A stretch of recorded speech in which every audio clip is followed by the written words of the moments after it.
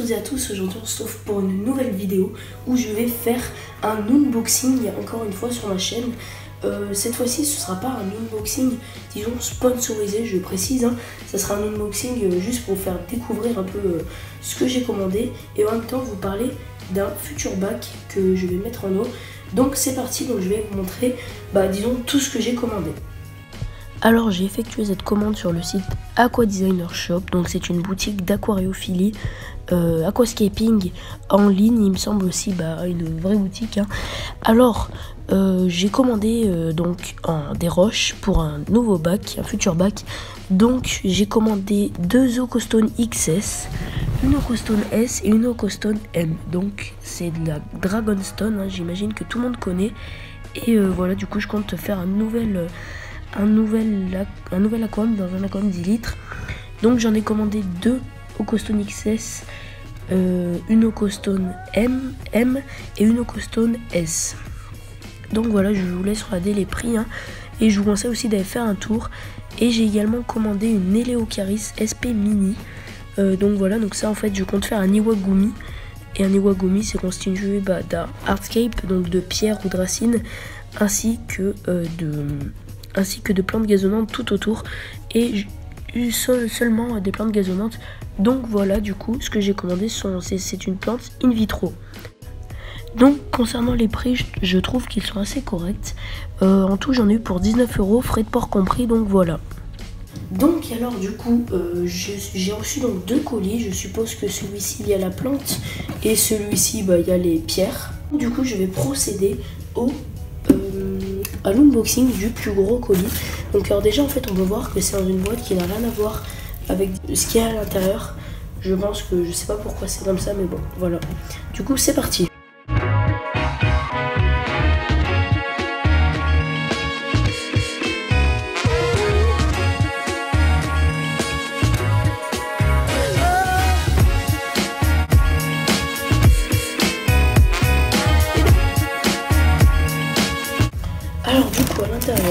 Alors j'ai oublié de vous dire en fait que je lui ai demandé par euh, via Facebook en fait des pierres adaptées au futur bac. Donc je vais vous parler un peu de ce futur bac.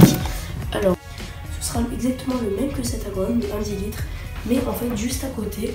Et je compte faire en fait deux paysages différents, un peu aquascaping. Donc celui-là, je sais pas si on peut appeler ça un aquascaping, mais enfin il y a de la, il y a de l'ardoise euh, au fond. Et puis là c'est bien planté, donc voilà. Et ici par contre ça sera un vrai aquascaping, il y a Niwagumi alors du coup, bah, ça sera en fait, euh, c'est juste des pierres et des plantes gazonnantes. Voilà ce que c'est un, Iwagumi et ça sera vraiment super. Du coup, on reprend donc notre unboxing. Alors, hop là. Alors ça, je sais pas du tout ce que c'est. Je n'ai pas commandé ça, mais en fait, je crois bien que c'est des tout petits fragments d'Ocostone. Euh, alors je pense qu'ils m'en ont fait cadeau. C'est super sympa en tout cas. Alors, je sais pas si ce sont les Ocostone XS ou alors euh, un cadeau, je sais pas. Euh, peut-être que ce sont les Ocostone XS, mais peut-être qu'ils m'en ont mis plusieurs parce qu'en fait, les Ocostone XS, ce sont des tout petits fragments de 0 à 5 cm. Donc c'est sûrement ça. Je sais pas. voilà du coup tout ça. Donc je sais pas si vous verrez bien, je vais essayer de faire un zoom. Alors du coup voilà tout ce qu'il y a. Donc je suis super content. Alors là nous avons euh, donc les deux Ocosone XS. Donc de 0 à 5 cm. Donc voilà la taille qu'elles font. Elles sont vraiment toutes petites hein, mais ça ça sera vraiment pour mettre en avant-plan. Voilà. Ensuite ici on a la S je suppose. Donc celle-là sera positionnée je pense comme ça en hauteur. Et ici la M. Donc là voilà. Alors du coup, je sais de vous faire un peu une avant-première. Alors tout d'abord, je dessine un aquarium de 10 litres sur euh, des feuilles afin de bien m'orienter sur ce que je veux faire. Je prépare mes pierres et je commence tout de suite avec la Oishi Stone, qui est la plus grosse pierre, la pierre principale, qui ne doit pas être placée au centre normalement, mais un peu sur le côté, voilà, comme ceci, et inclinée. Ensuite, je place ma Fukichi Stone qui est censée être, euh, donc ne pas être dans le même sens que la pierre principale et puis ensuite, je continue avec des Soichi Stone qui doivent être placés dans le même sens que les deux plus grosses pierres Donc par exemple la Switchy Stone de droite doit être placée dans le même sens que la Fukuichi Stone. Donc voilà. Ensuite donc je viens placer des sous-Twitchy Stone qui euh, donc ce sont des petits fragments de pierre qui normalement seront plus visibles une fois que la colonne sera plantée. Et puis ensuite donc je vais placer vraiment pour faire joli des petits fragments de, pierre. Donc c'est même pas des sous-Twitchy Stone, c'est des petits fragments qui vraiment bah, voilà, vont faire joli et ça va faire un rendu vraiment harmonieux. Donc voilà le résultat, je trouve ça vraiment magnifique, je sais pas ce que vous en pensez, mais moi j'ai vraiment hâte de pouvoir mettre cet aquarium en eau. Donc c'est parti du coup pour l'unboxing de euh, ce petit colis du coup, le petit, enfin le, le second colis.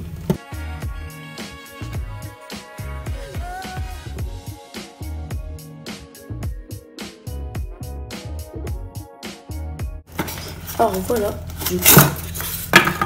Donc à, l'intérieur il y a la plante, hein. Je vais la déballer. Et là du coup, hop, on peut la voir. On peut voir qu'elle est vraiment magnifique. Et en fait, je m'attendais pas du tout à ça. Je m'attendais. Donc là, forcément, elle était un peu à l'envers. Donc euh, vous voyez comment elle est là, les racines sont un peu décollées. Bon, hop là. Voilà. Alors ça, ce sont des plantes in vitro, donc euh, ceux qui connaissent pas, en fait, ce sont des plantes qui sont cultivées dans un petit pot comme ça, et qui, euh, en fait, il n'y a pas besoin de les sortir, en fait. Elles peuvent vivre, on va dire, euh, plusieurs, plusieurs mois là-dedans. Elles vont grandir, il n'y aura aucun escargot ni rien du tout qui va se développer à l'intérieur. Il y aura juste la plante, et voilà, elle vivra comme ça, en fait, dans... Donc là, elle n'est pas dans l'eau, elle est juste dans de, dans de l'air très humide, et en bas, là, donc je sais pas si vous verrez bien, il y a du gel nutritif qui permet aux racines en fait de, fournir euh, tout ce qu'il faut pour euh, la plante quoi. Du coup la plante, hop là, je vais la mettre ici bien à la lumière. Alors quand même pas trop, hein, pas à brûler, mais ici bien à la lumière. En attendant, euh, disons, le nouveau bac. En attendant la mise en eau dans environ deux semaines. Donc elle peut très bien tenir comme ça. Donc voilà, sur ce, merci d'avoir regardé la vidéo. Et puis, eh ben, je vous conseille de regarder mes futures vidéos car il va y avoir ce nouveau pack. Donc, je vais vous expliquer plein de trucs et il va y avoir bah, plein de nouvelles vidéos à propos de ce nouveau pack. Du coup, bah, merci d'avoir regardé la vidéo. À bientôt.